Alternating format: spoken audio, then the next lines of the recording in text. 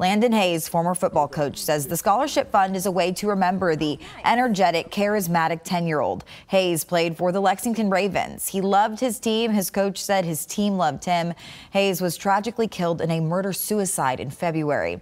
Coach Terry Hicks tells LEX 18 no matter what, they will not forget his impact.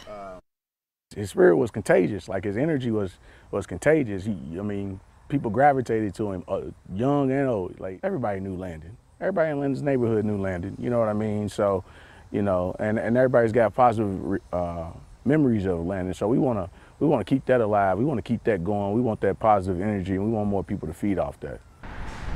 One Lexington has already donated $1,000 to the fund. This year, the scholarship will be open to a Tates Creek High School senior who has been impacted by gun or domestic violence. The football team is also selling Long Live Landon merchandise to raise money for the scholarship. You can see that on your screen there. You can actually order a sweatshirt or a jersey for yourself to help support the cause. We'll have details on how to do that on our website, lex18.com.